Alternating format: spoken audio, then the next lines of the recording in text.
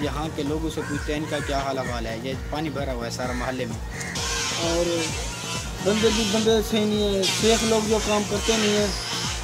کل ہے۔ کو وزیر والا پنجاب پر ہے عثمان دوبارہ دن تو آپ ان کو کوئی پیغام دینا چاہتے ہیں؟ ہاں۔ ان سے میری ریکویسٹ ہے کہ یہاں کی سیوریج لائن بہتر کریں اور روڈ بہتر بنوائیں۔ شکریہ۔ یہ آپ دیکھ سکتے ہیں پورا کاروبار متاثر ہے۔ دکاندار بھی بہت پریشان ہیں۔ یہ سب پانی پانی ہے محلہ علی پور یہ دریائے سندھ بنا ہوا ہے یہاں پر۔ اس کا کوئی وارث نہیں ہے یہ لاوارثہ محلہ بن چکا ہے۔ لہٰذا ہماری انتظامیہ سے اپیل ہے ان کو جلد از جلد انصاف دیا جائے اور ان کی سیوریج ٹھیک کی جائے۔ یہ آپ دیکھ سکتے ہیں پورا کاروبار کا پرابلم ہے۔ سر جی آپ کا کچھ کہنا ہے؟ ہاں یہ سارے سال کا پرابلم ہے۔ سارا سال یہاں پانی رہتا ہے۔ جو ممبران ہیں وہ آتے نہیں ہیں ووٹ لے کر چلے جاتے ہیں۔ ہم اپیل کرتے ہیں حکومت سے کہ آئیں یہاں کی سیوریج سیٹ کریں۔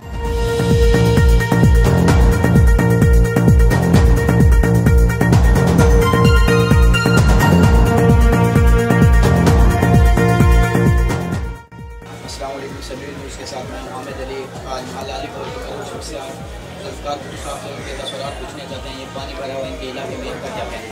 سر جی آپ کا کیا کہنا ہے یہ بہت مسئلہ ہے جو ہم نے پہلے بھی میں تھا کو بھی کو بھی انتظام بھی کیا تھا آپ اپنے کیوں خاموش ہیں ہمارے مسئلے کا ہمارے محلے کا مسئلہ ہے ہمارے بچے اسکول نہیں جا سکتے اسکول کے لیے رکشا کرنا پڑتا ہے کیوں کرنا پڑتا ہے۔ کئی بار بک کر دیا سفر کے سفر بھائی کے بارے والے